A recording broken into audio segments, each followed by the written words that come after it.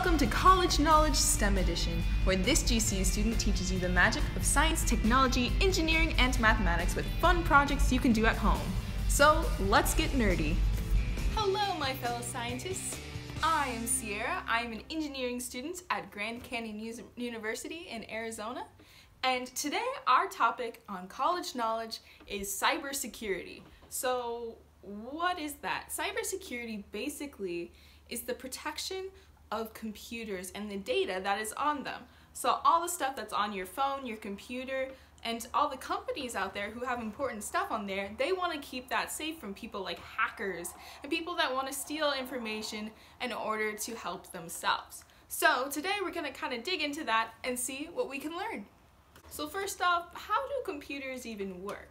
Well, computers have hardware or the things that you can touch, or when you open it up, the things that you can see, the me mechanisms working together, and the software, the programming or code that makes the computer work. It tells the hardware what to do.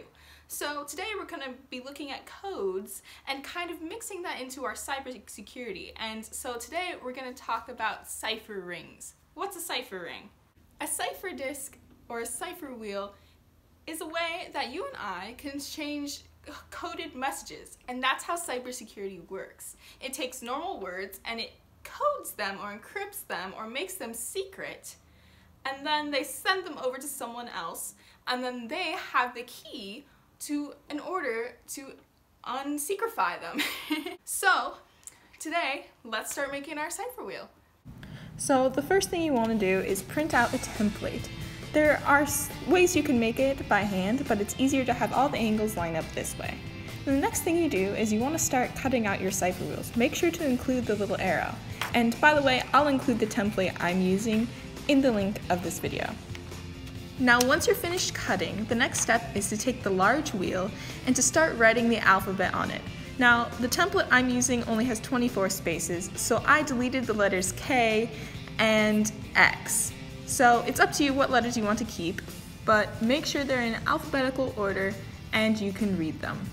Once you're done with your large wheel, take your small wheel and write any numbers and letters or symbols you want in any order you want. This is your code or your scramble, and it's how you're keeping your secret messages well secret. Make sure that there's no order, or anything at all that makes any sense about it. It's completely random, and that's how this code works. So mine is probably gonna look a little bit different than yours, but it's the same concept once I teach you how to use the cipher wheel. When you're done writing on all of your cipher wheels, place the two circles on top of each other and secure them together with a tack. So that way, your cipher wheel can rotate and help you start decoding messages. Now we find a code. So as you can see on my paper, our key is 12. So I'm counting over 12 spots from that arrow starting at A and moving the disk over. That will be our secret code. We're ready to start decoding. So here I have a secret message for you and we already know that the key is 12 which is over there down at M.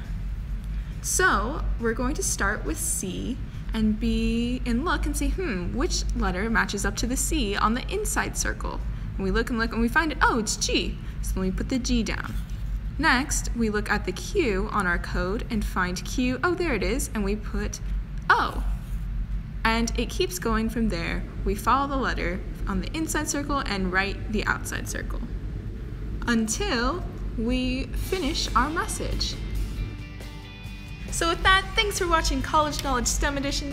Please like, comment, and subscribe to this channel, and thanks for exploring the world of science with me. Lopes up!